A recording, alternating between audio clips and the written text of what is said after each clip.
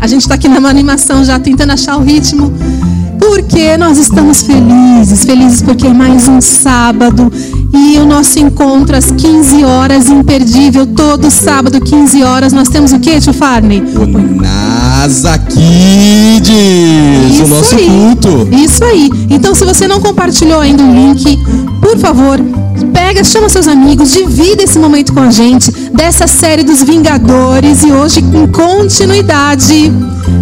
Nós falamos ou não falamos quem vai ser hoje, tio? Surpresa! Surprise. Surpresa! Então tá bom. Mas eu garanto para vocês que tá muito legal.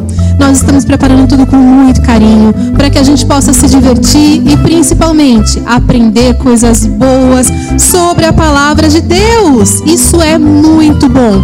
Já tá todo mundo aí? Deixa eu ver direitinho.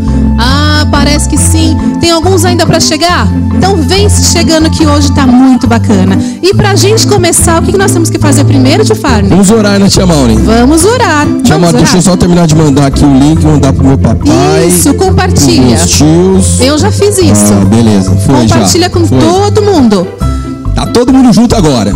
Isso aí. Então vamos orar. Vou orar. Posso orar, Tia Por Maureen? favor, Tio Então, Farney. vamos orar. Jesus, obrigado por esse tempo aqui.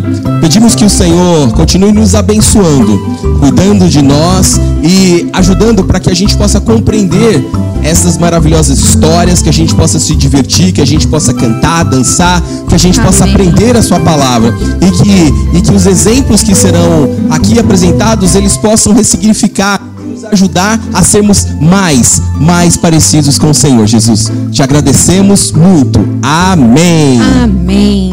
Muito bom. Então, tio, agora é a hora do.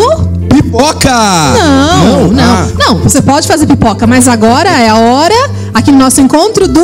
Louvor!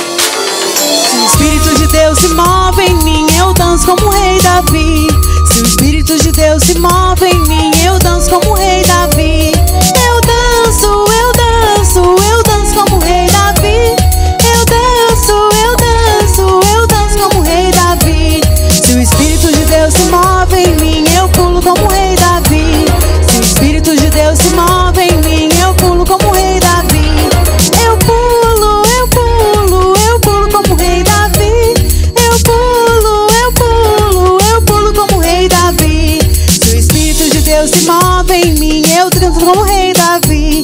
Se o Espírito de Deus se move em mim, eu grito como rei Davi.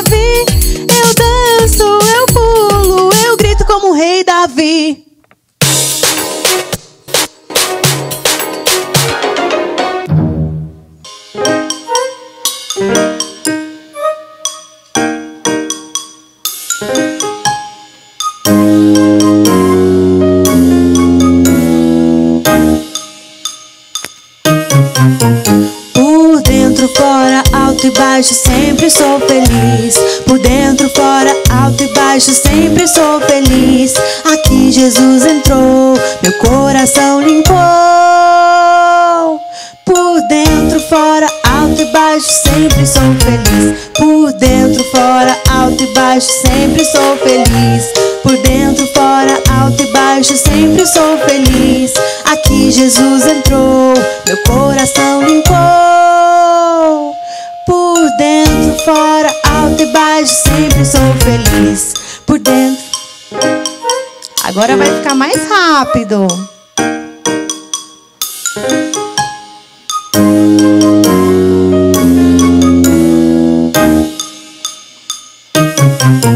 Por dentro, fora, alto e baixo, sempre sou feliz. Por dentro, fora, alto e baixo, sempre sou feliz. Aqui Jesus entrou, meu coração limpou.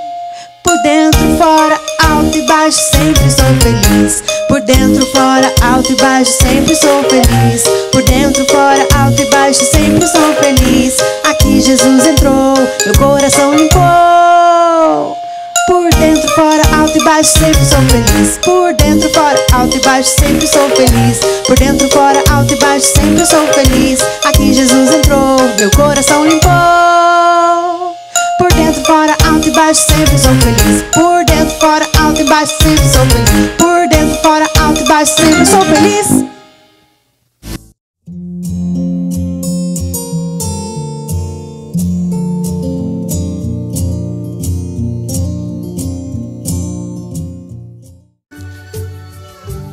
Fala galerinha do YouTube, tudo bem?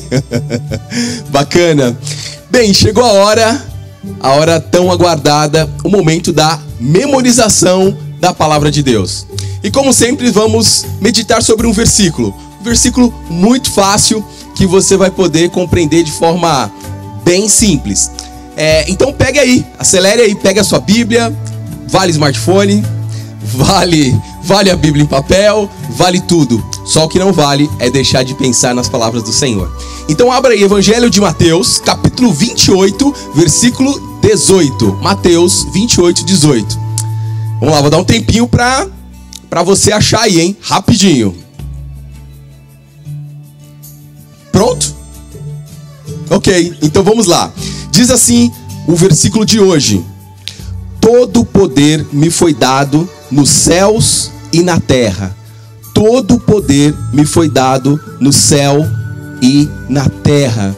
Sabe, essa palavra poder, ela. Quando a gente ouve, a gente pensa em tantas coisas, né? Tantos. Talvez o, o que você mais pense é nos super-heróis, né? Cheio das suas habilidades, um voa, outro lança teia, outro tem um, mach... outro tem um martelo poderoso, outro tem uma força. Então, é importante que a gente entenda que todos esses super-heróis, eles na verdade não existem, né?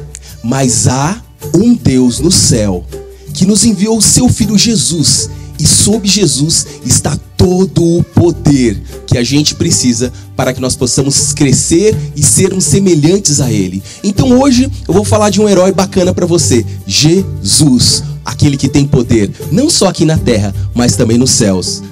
Agradeça a ele, busque ele, ore junto com ele e aprenda que ele é o maior super-herói de todos os tempos. É isso, meus amigos. Então, vamos continuar a nossa programação que está muito especial e eu espero que você não se esqueça desse versículo e relembre dele ao longo da semana. Deus abençoe. Tchau, tchau.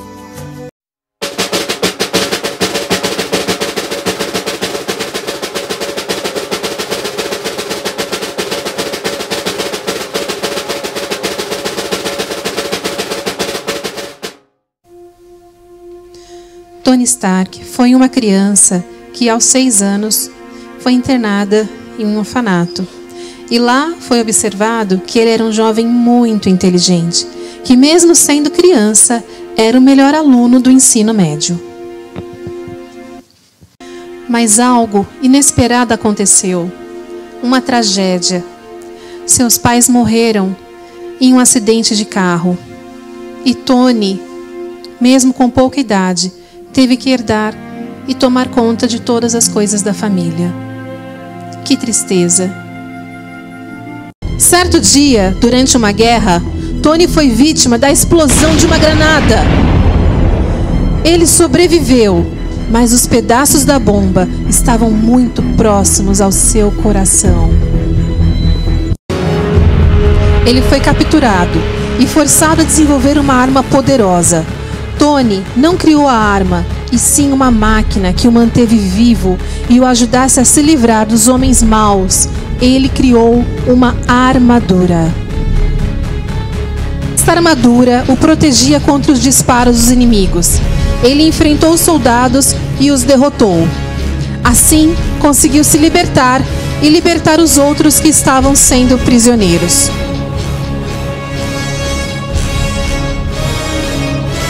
Essa armadura de ferro dourada, cor de ouro e vermelha é muito importante para o homem de ferro, pois sem ela, ela não, ele não possui nenhum poder.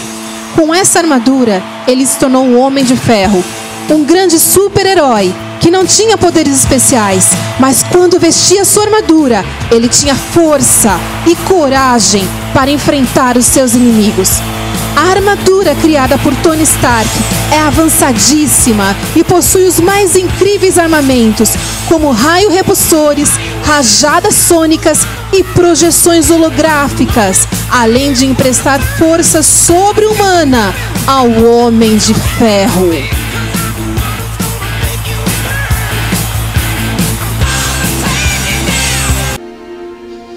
Crianças, que história bacana! Não é legal a gente aprender a palavra de Deus com um super-herói tão conhecido como o Homem de Ferro?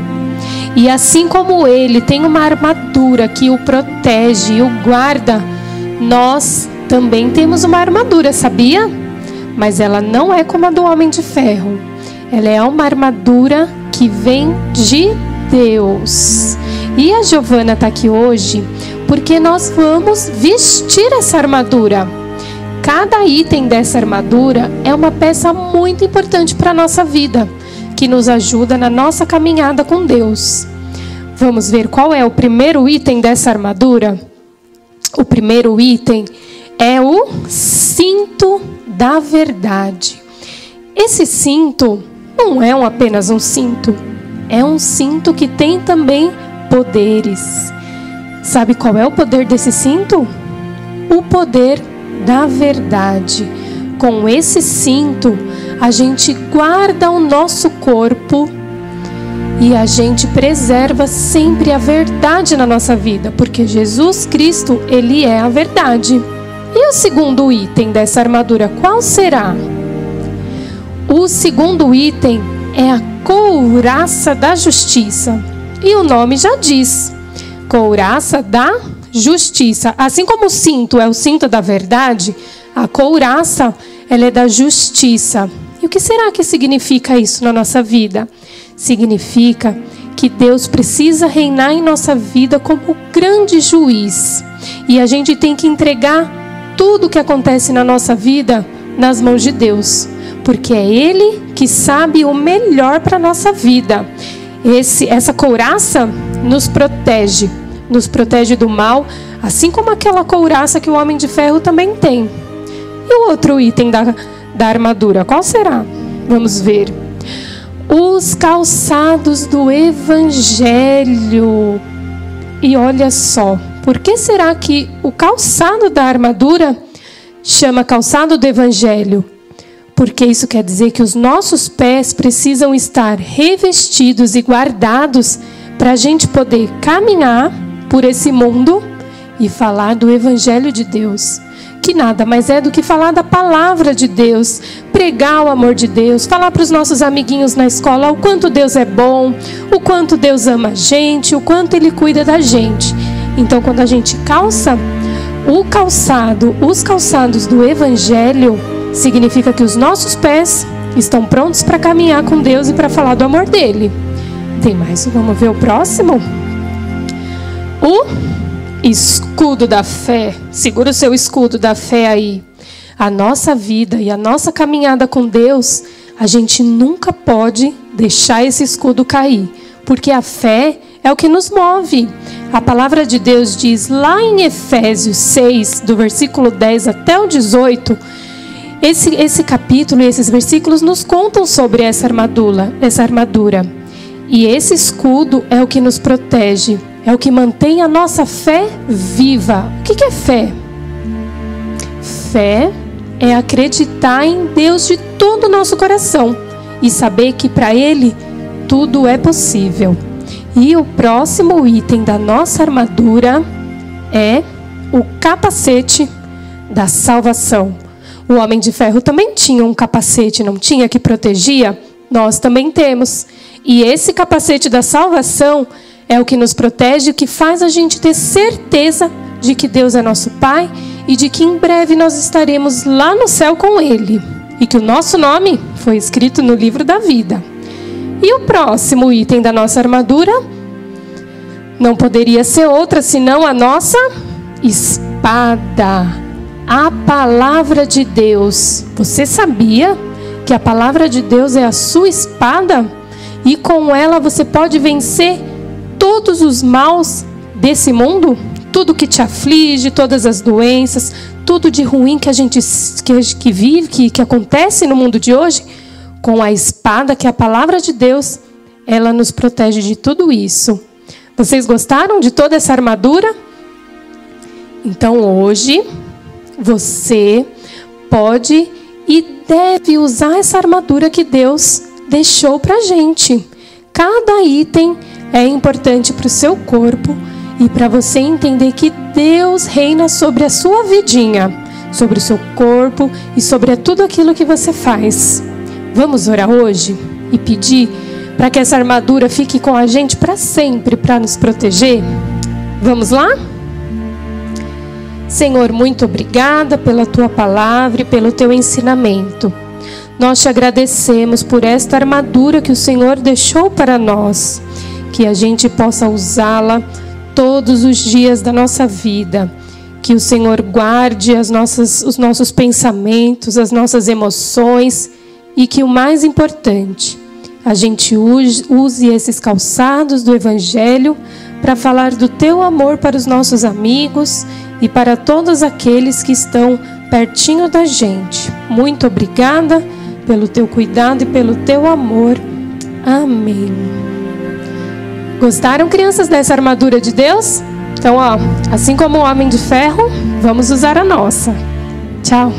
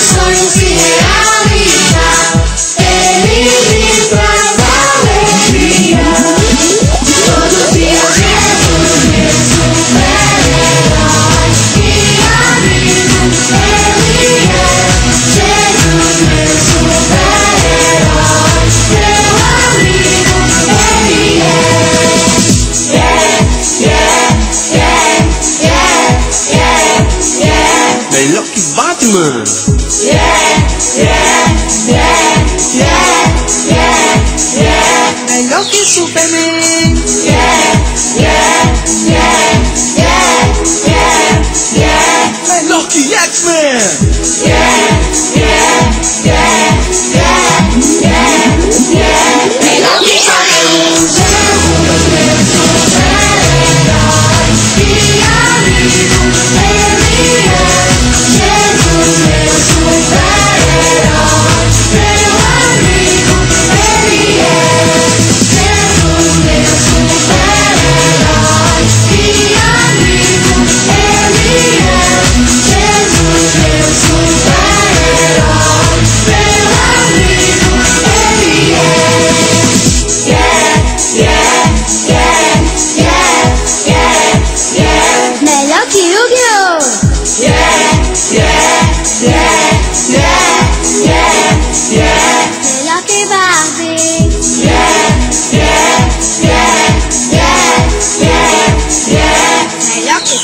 Yeah.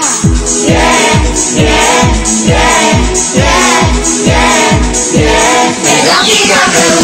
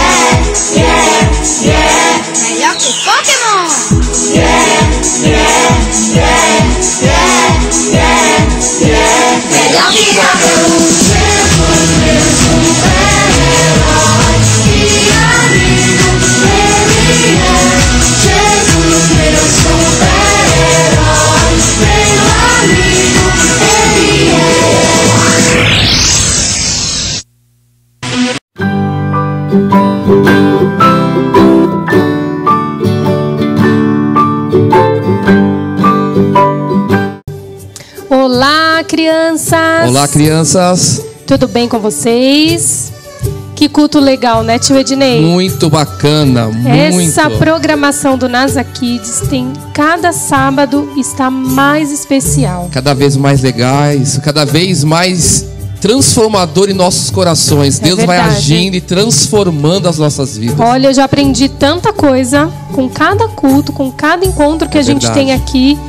Cada sábado eu- aprendo uma coisa importante. Amém. Eu saio daqui renovado pelo poder do Espírito Santo. Amém. E agora chegou um momento muito importante desse encontro, É verdade. que é a oração pelo nosso país. Nós precisamos sempre, nunca se esquecer de orar e pedir para que Deus abençoe o nosso Brasil. Aleluia. E tem mais um país que a gente vai orar Vamos hoje. orar hoje por Israel, Uau! Onde veio Jesus. Isso, vamos orar. Vamos colocar em prática a Bíblia. Orai pela paz de Jerusalém. Muito importante a gente sempre levantar um clamor pelo nosso Brasil e por todos os outros países, não é Amém. verdade? É verdade, é verdade, Tia Pri. Vamos orar então? Amém. Vamos orar, crianças, pelo Brasil e depois o tio Ednei ora por Israel? Amém. Você inicia então? Sim, vamos lá. Crianças, fechem os seus olhos, pode pôr a mãozinha no coração. Lembra do nosso Brasil e vamos orar. Senhor Jesus, nós te agradecemos pelo nosso país, nós te agradecemos pelo Brasil e nós te pedimos, Pai, que o Senhor venha abençoar, venha abençoar os políticos, venha abençoar todas as famílias, venha abençoar as crianças do nosso país. Guarda, Senhor, todos aqueles que moram em cada cantinho do nosso Brasil. Nós te louvamos por este país tão maravilhoso. Em nome de Jesus, amém. Senhor, nós colocamos Israel nas tuas mãos, ó Pai. Oramos pela paz de Jerusalém. Oramos para aquele povo, Senhor, que seja alcançado por Jesus Cristo. Que um dia conheceu a Deus no passado, quando Deus chamou Abraão, Isaac e Jacó. Mas agora nós colocamos, ó Pai, para que eles possam conhecer o único Deus vivo, que é Jesus Cristo. Abençoe aquela nação, Senhor. Livros de todo o mal. Abre os olhos do povo de Israel, para que conheçam a Ti, Senhor, como único e suficiente Salvador. É o que te peço, é o que te pedimos, ó Pai. No nome de Jesus. Amém. Amém. Até a próxima, criança. Até a próxima, criançada. Tchau, tchau. Bom, crianças, agora é o momento da gente prestigiar o devocional das nossas crianças. E você não pode ficar fora dessa. Se você ainda não gravou o seu, procura a tia Maureen ou tio Farney. Pede para a mamãe falar com eles para você gravar o seu devocional e a gente sempre coloca ele lá na nossa página do Instagram. Nasa Kids Jabaquara. Se você ainda não curtiu, você precisa curtir essa página. Entra lá e dá uma curtida no nosso devocional. Combinado? Esperamos você lá no Instagram. Oi, gente, eu sou Marina e vim compartilhar mais um devocional com vocês. Nesse devocional eu vou falar sobre a esperança. E vamos ler Mateus 28, 6. Nele diz: Mas ele não está aqui, já foi ressuscitado, como tinha dito. Exemplo, eu vou contar uma historinha que fala sobre a esperança. Vamos lá? O vovô contou que hoje faz 30 anos que ele perdeu seus pais em um acidente de carro. Eles morreram ao mesmo tempo? Aham. Uhum. Você já ficou triste? Muito. Eu amava meus pais. No momento da notícia, achei que nunca seria feliz na vida. Mas aí me lembrei que por causa de Jesus eu tenho esperança. Que esperança de reencontrar meus pais lá no céu. Lembrei que a vida não acaba aqui, mas por causa da ressurreição de Jesus, ganhamos a salvação e a vida eterna. Isso significa que viveremos felizes com Ele lá no céu. Então, vamos encontrar todo mundo lá no céu? Vamos encontrar todas as pessoas que aceitaram a Jesus como seu Salvador. Ainda bem que eu aceitei, porque tenho muita vontade de conhecer o céu. Agora nós vamos para a oração. Jesus, obrigado por ressuscitar e nos trazer a esperança de morar no céu. E eu trouxe duas atividades para você pensar aí com a sua família em casa. Qual o maior presente que a ressurreição de Cristo nos deixou? E segundo, quem irá morar no céu? Então foi isso, gente. Beijo. Tô com saudade de todo mundo. Tchau!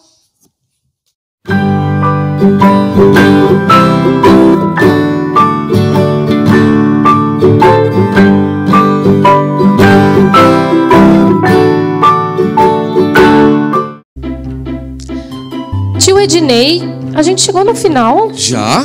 Ah, eu não acredito. Passou muito rápido. Muito rápido. Quanta coisa legal a gente aprendeu Verdade. hoje. Aprendemos uma história bacana, né? Sobre a vida do Homem de Ferro, a armadura. Muito, muito. E olha só, você já tinha parado para pensar nessa armadura de Deus que ele deixou pra gente poder usar também? Não, mas hoje eu aprendi um pouquinho. Não é legal? Super, a história Eu- é super eu vou- bacana. Não vou sair de casa sem colocar essa armadura. Verdade. É o que nos faz protegidos contra as coisas do inimigo. É verdade. E vocês, criança, gravem bem tudo isso que vocês aprenderam hoje, porque isso a gente vai usar para toda a nossa vida. Mas chegamos no fim. Infelizmente. Que pena. Mais um sábado, né? De alegria, mais um sábado da graça de Deus sobre as nossas vidas, né? E vamos sair daqui felizes, né, Tia Pri? É verdade, mas a gente não precisa ficar triste porque sábado que vem tem mais. Às 15 horas, todos os sábados aqui no canal do YouTube da Igreja do Nazareno, nós estaremos aqui. E ó, eu ouvi falar que sábado que vem vai ter um herói muito legal. Quer que adiantar ou não? Não, não vamos dar spoiler. Ah, é verdade. Se preparem. Vai ser mais uma história bacana e um encontro com Deus no seu coração. Verdade. E ó, você que ainda não votou, lembra dos nossos amiguinhos que estão sem nome? Eles nem apareceram hoje. Verdade. Eles são tristes. Então, a gente precisa entrar lá no Instagram e votar. Escolhe o nome que você achou mais legal, porque sábado que vem eles vão voltar aqui. Então, já que a gente chegou no fim, eu acho que a gente podia fazer uma oração com as É crianças. verdade. Vamos lá, tio Ednei? Pode orar. Amém. Pai, nós te louvamos por esse momento tão abençoador, em que aprendemos da tua palavra, da armadura de Deus. E te peço, Pai, seja uma semana abençoada para cada criança, sobre cada pai, sobre cada família e sobre o Brasil, Senhor. Obrigado por tudo. No nome de Jesus. Amém. Amém. Tchau, crianças. Tchau, Até criançada. o próximo sábado. Beijão. Até sábado que vem.